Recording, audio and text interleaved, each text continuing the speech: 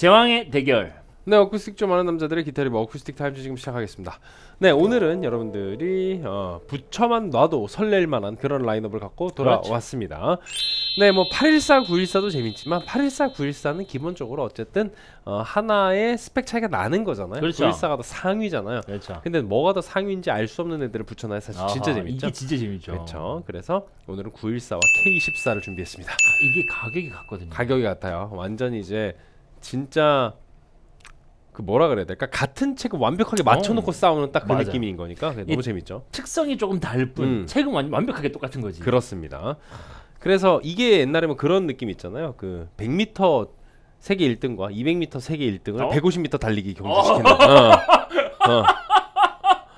그거 뭐 재밌었죠. 아 그때 누구랑 누구랑 했었더라? 마이클 존슨이랑 저한테 자꾸 기억나잖아요. 이런 거 하시면 안 돼요. 저 크게 웃어가지고 짜증 낸다고. 아 이게 세기의 대결이었단 말이에요. 어. 마이클 존슨 150m 치면 나올 거야. 도노반 베일리 대 마이클 존슨. 이거 누가 이겼어요?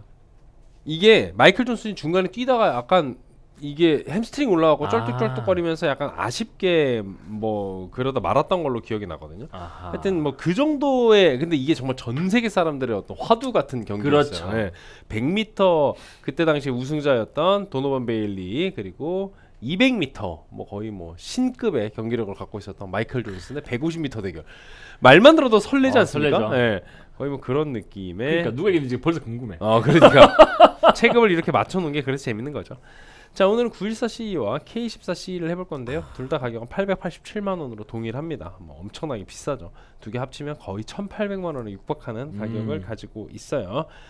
자 그러면 예전에 했었던 저희가 K14 같은 경우에 좀 오래됐더라고요. 2018년에 해서 저희가 지금 자료로 남아 있는 게 별로 없는데 그때 당시에 들어, 드렸던 평가를 한번 확인해 보자면 이게 V class가 그 그때쯤 시작이 됐어요. 아. 그래서 우리가 사실 K14에 대한 얘기보다 V 브레이싱에 대한 얘기가 좀 많아요. 그랬던 것. 같아요. 네. 테일러의 새로운 세상을 한번 열어보십시오. V class 저는 victory 뭐 이렇게 드렸었는데 8.5 8.5 나왔었고요. 어 914ce는 2021년 8월에 저희가 스커드로 한번 리바이벌 했었는데 어 79.5 음. 높은 점수가 나왔습니다. 엄청 높이 나왔네요. 35141516, 34131715 이렇게 해서 87, 19 나왔고요. 한 줄평은 사장님 차. 저는 Indizilian 이렇게. Indizilian. 네. 인도 그러니까 Indian rosewood인데도 뭔가 Brazilian의 약간 향기가 나는 그런 느낌의 진함을 우리가 느낄 수가 있었죠. 네, 914와 K14의 스펙을 한번 비교 분석을 해보도록 하겠습니다. 형태 똑같이 GA고요. top은 Sitka spruce 동일합니다. 어, Indian rosewood body에 Hawaiian koa body 요게 가장 큰 차이라고 할 수가 있겠고요. neck은 tropical 마호가니에 너트 너비 44.45mm 동일합니다. 지판 ebony 동일하고 픽업도 ES2 똑같아요. 결국에는 같은 스펙의 외관도 사실 굉장히 화려하게 돼 있는 거 비슷하잖아요. armrest 있는 것도 비슷하고 근데 이제 광이 유광이냐 무광이냐 차이가 있고 K14 같은 경우에는 뒤쪽에 이쪽에 자개 binding이 상당히 binding이 화려하게 들어가죠. 들어가 있습니다. 얘는 이제 목에 네, 유광으로 들어가 있죠. 그렇습니다.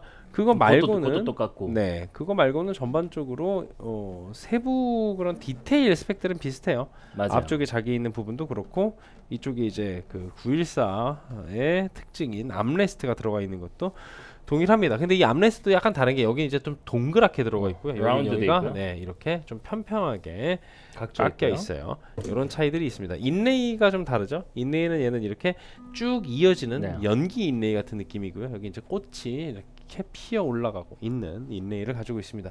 이쪽에도 이렇게 풀떼기, 음흠. 여기 꽃, 그렇죠. 음, 밑에서부터. 네, 이렇게 이런. 차이가 있습니다. 자, 그럼 바로 한번 사운드 리뷰 해볼까요? 아, 엄청 아주 궁금해요. 기대됩니다. 자 가보겠습니다. 1호 갈게요.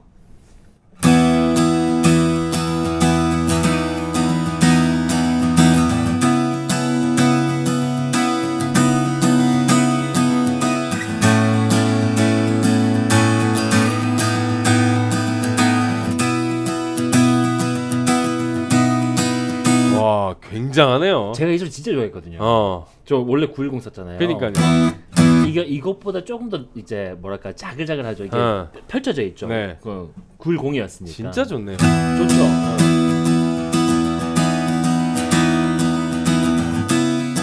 와, 아, 이런 느낌이죠. 역시 좋긴 좋아요. 진짜 914는 914다. 코아 가보겠습니다. 아, 세계가 다르다. 완전 다른 세계관.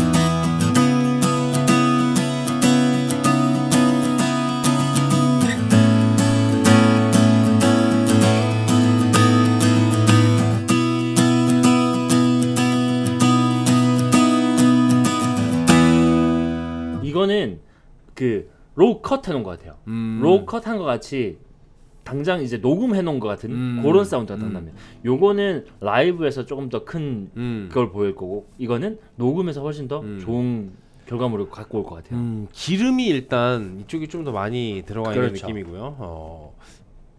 어, 근데 진짜 세계관이 좀확 다르네요. 달라요. 네네. 예, 다르죠.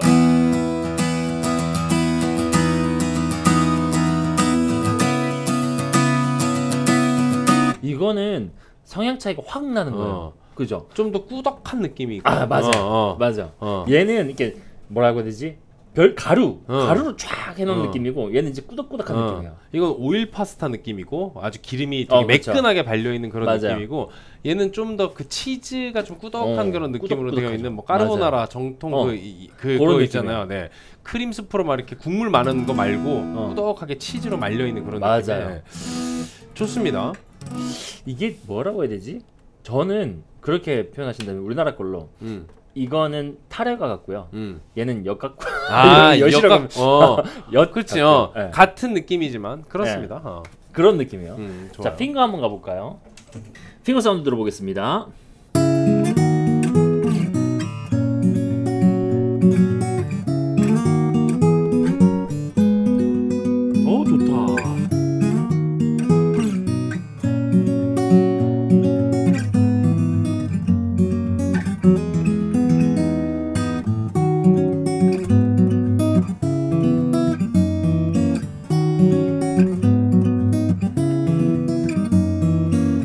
어때요? 그 아까 얘기했던 정말 그 기름기가 너무 예쁘게 싹 발려 있는 그 느낌이 진짜 좋아요. 맞아요. 확실히 기름은 덜하죠. 근데 어떤 그 깊이감과 꾸덕함이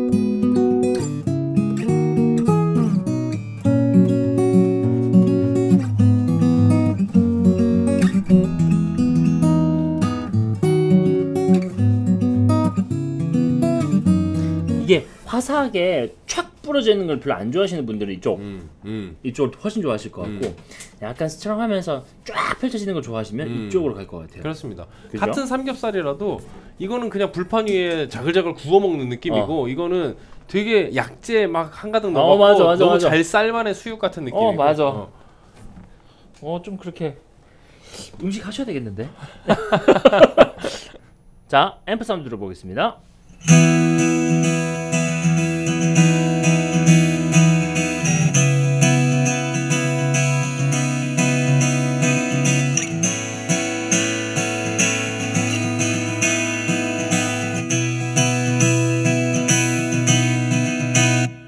제가 평상시에 910을 쳤을 때 사운드로 음. 쳐볼게요. 어우 멋있다. 테일러의 항상 그 중음역대 이게 확 올라와 있는 게 있어요. 음. 저는 여기서 항상 베이스를 1시 음. 그리고 트래블을 11시 음. 요렇게 두고 치거든요. 그럼 사운드가 이렇게 나와요. 요거 좀 괜찮은 것 같아요. 네, 그 미들의 뾰족한 부분이 좀 희석이 되네요. 저렇게 그렇죠, 하니까. 그렇죠. 네네네. 자 핑거 사운드 바로 보겠습니다.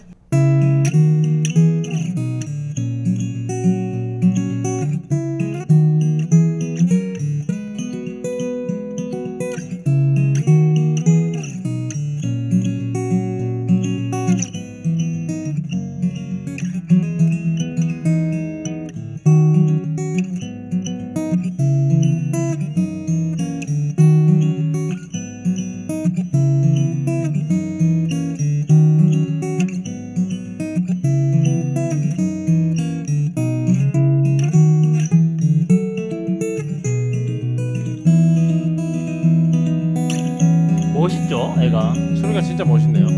네, 요런 사운드입니다. 자, 그럼 바로 코어로 바꿔서 들어볼까요?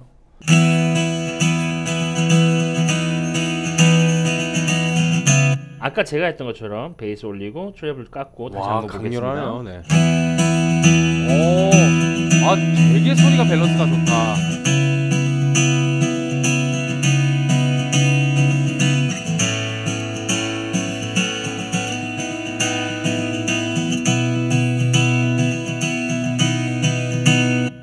이것도 high가 진짜 많거든요. 음. 많은데 얘 듣다 얘 들으니까 없는 음. 것처럼 들려. 음. 그죠? 그리고 얘가 아까 low cut 한 것 같다고 말씀하셨잖아요. low를 좀 올렸는데도 얘는 밑단이 이렇게, 이렇게. 올라오는데 맞아요. 얘는 깔끔하게 정리가. 되어 있네요. 네. 그러니까 얘가 얘는 약간 녹음할 때 음. 좀잘 어울리고. 공연할 때 더 잘 어울리는 음. 것 같은 느낌이에요. 자 finger 사운드 들어보겠습니다.